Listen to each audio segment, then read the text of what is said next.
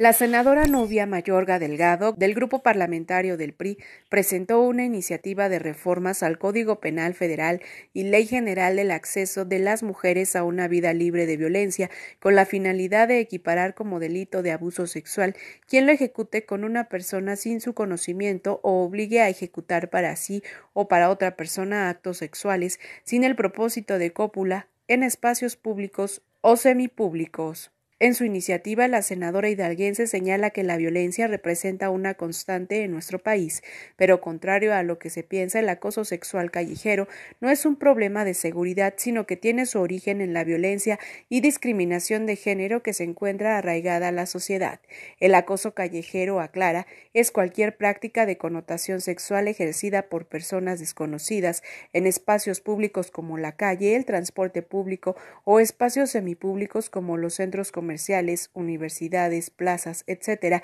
sin consentimiento de la víctima. Revela que, de acuerdo con el Instituto Nacional de Estadística y Geografía, INEGI, el 66.8% de las agresiones contra las mujeres en la calle son de tipo sexual, mientras que una de cada tres mujeres ha sido objeto de piropos o frases de carácter sexual a lo largo de su vida, en tanto el 12.6% ha sufrido tocamientos o ha sido manoseada sin su consentimiento. El 0.6% ha sido violada en la vía pública y el 8.9% ha sido obligada a ver escenas o actos exhibicionistas. Igualmente, ocho de cada diez mujeres indicaron que la persona responsable de estas agresiones había sido un desconocido y que es la calle y el transporte público donde las mujeres son más violentadas. Los estudios coinciden en señalar que las mujeres se enfrentan el acoso sexual desprotegidas en un contexto donde se les responsabiliza de su seguridad y se ven obligadas a evitar espacios públicos.